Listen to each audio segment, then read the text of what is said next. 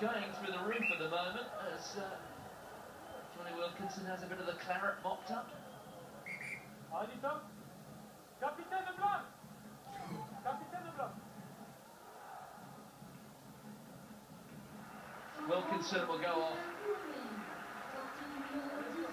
We expect there to be a temporary